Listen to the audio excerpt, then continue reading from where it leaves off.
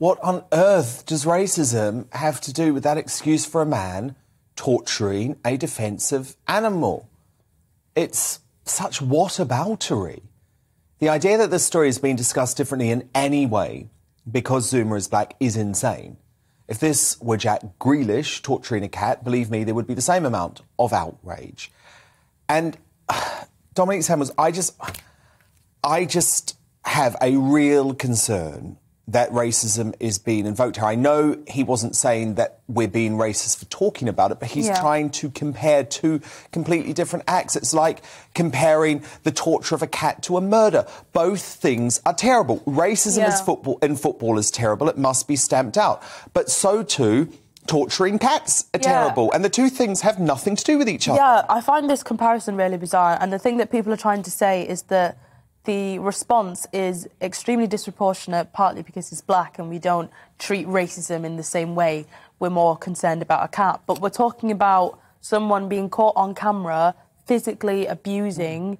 Booting an animal, And he's admitted it. slapping it in the face. There's footage of him doing it, and in front of a child as Yeah. well. How is that comparable to racist name calling? And I guess it depends on what kind of racism we're talking about. If it's racially motivated violence, then of course we could have that conversation. But to make this comparison is just completely unhelpful. I think you're completely missing the point, though, because what he's saying here is he's just saying.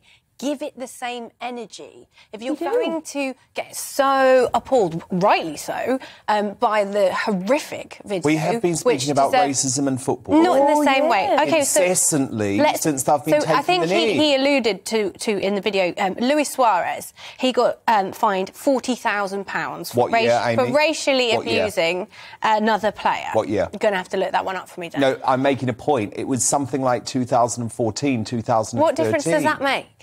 That's the last case he can come up with. And I'm sorry. But that's if- even worse. That shows that these things haven't been. It's just been. It's institutional. But it- racism- No, It's it's not. Do you same not? What I'm saying, Amy, is that there's I don't- been a whole I No, culture. it's not- it's There's been a not- culture. Hold on, hold on, let's- hold on, hold on, Let Sean Hold come on, in. you- Let you, Sean you got come to first and foremost. You can't you can't rank sin. You know, you can't put a, a cash value next to these things. But they are. Hold on, and secondly, they're completely separate. Yeah. You are in a nation of, of, of, of pet lovers, first and foremost, in this country. And why people leap to the defence of pets is because they are defenceless. Hmm. Now, of course, I have a vested interest in racism being stamped out across the piece. And I would still tell you they're two very separate things. And when someone tries to defend it, it looks like whataboutery. It, it, it looks I mean, like- it is whataboutery, yeah. And, and, and that's the point that was missed. That, that player is right. Racism often isn't dealt with with enough vigour, particularly in football, but it is separate Exactly. to this. Hold on, but people are not talking about race because that's not an issue in this case. The case here is he viciously attacked a defenceless animal, and that's tiny what people's ca- like a- I think